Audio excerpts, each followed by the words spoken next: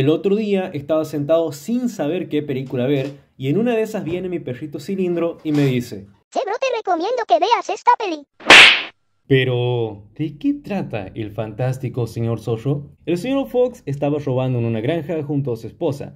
Debido a la curiosidad del zorro, estos se caen en una trampa, y es entonces cuando su pareja le confiesa que está embarazada y le pide a su novio que consiga otro trabajo. Claro, si sobrevive a esto. Pasan un par de años y el señor Fox ahora es columnista de un diario y vive en un agujero junto a su esposa y su hijo Ash. Aburrido de esta vida, decide pasar a vivir dentro de un árbol cerca de una granja de tres hombres de negocios, Boogies, Boons y Bean, rechazando las advertencias de su abogado.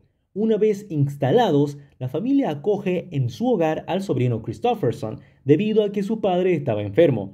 Ash entra en conflicto con su primo porque éste lo supera en todo, además de que su padre e interés romántico se interesan más en él. Añorando sus días de antaño, el señor Zorro diseña un plan para poder robar la granja de estos hombres de negocio, así que recluta a Kyle, su asistente, para lograr este golpe. Su primer obstáculo es una cerca eléctrica. Duermen a los perros usando moras con un polvo para dormir y entran bajando de un árbol.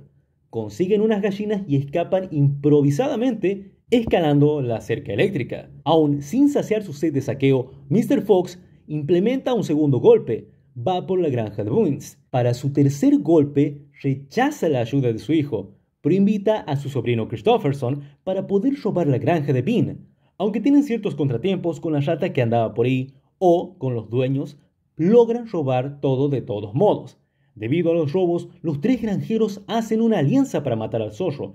La zorra le advierte al señor zorro que cese con su actividad. Sin embargo, el señor zorro muestra una cara de satisfacción y decide salir por cuarta vez, pero en esta ocasión es tiroteado por los granjeros, aunque solo logran dispararle a su cola. Impacientes de que el zorro salga, los granjeros deciden cavar en su guarida para poder acabarlo. No obstante, la familia y Kyle deciden escapar cavando aún más profundo. Los granjeros no logran atrapar al señor zorro, Así que días después los animales se terminan encontrando abajo del suelo e intentan reprender a Mr. Fox porque no tienen forma de alimentarse y peor aún, sin hogar a dónde ir. El señor zorro aprovecha que todos están distraídos porque están intentando cazarlo y se va a robar todo de los granjeros, dándole así un festín a sus amigos. Ash quiere demostrar de lo que es capaz, así que recluta a su primo para recuperar la cola de su padre. Su plan no funciona porque Bean lleva la cola puesta como una corbata. Su mujer lo descubre y solo Ash logra escapar, pero es arrastrado junto a los demás animales debido a que en esos momentos el plan de los granjeros era llenar con agua a presión y sidra toda la cloaca donde estaban los animales. Mr. Fox se siente mal por poner a todos en peligro y exponer la vida de los demás que quiere, así que piensa en entregarse, pero su mujer le pide que no lo haga. En la cloaca llega la rata con una nota de intercambio para que Mr. Fox se entregue a cambio de Christopherson. Ash le dice a la rata que él es el verdadero hijo, entonces la rata lo captura. No obstante, su padre lo rescata tras luchar con la rata, quien le dice dónde está Christopherson mientras agoniza. El señor Zorro diseña un plan teniendo en cuenta todas las habilidades del grupo. Le escribe una carta a los granjeros para que le dejen salir, por la tapa de la alcantarilla. El zorro junto a Kyle toman una motocicleta oportunamente a su medida. Ash está de polizón, así que lo incluyen en el plan de rescate. El grupo se encuentra con un perro lleno de rabia. Kyle olvidó en esta ocasión traer las moras, así que el señor zorro se ofrece como distracción. Por el tamaño de la zarigüeya, esta no puede atravesar la reja, así que Ash entra a través de ella rescata a su primo y de paso se disculpa con este. Luego, todo el grupo se reúne con Mr. Fox, pero cuando intentan escapar, son sorprendidos por los granjeros y varios hombres armados, que los terminan acorralando. Ash toma la iniciativa y esquiva los disparos y abre la puerta del perro con rabia. El perro escapa persiguiendo, atemorizando a todos los hombres armados y orgulloso Mr. Fox le entrega un pasamontañas a su hijo y se van todos utilizando la motocicleta para huir.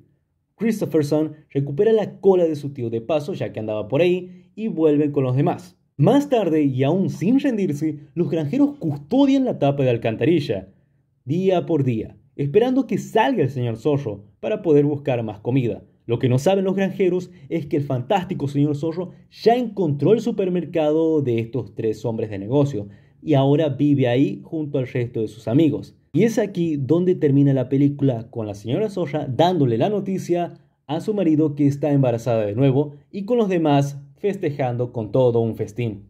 Lo que esta película nos enseña primero que nada es el tema de la avaricia. Y es que al principio podemos ver cómo esa avaricia del señor Zorro lo va alejando de su familia. ¿Y cuántas veces nos ha pasado eso? Muchas veces por el tema de avaricia terminamos dejando de lado a las personas que realmente nos importan. Por otro lado, nos acepta que el cambio es bueno.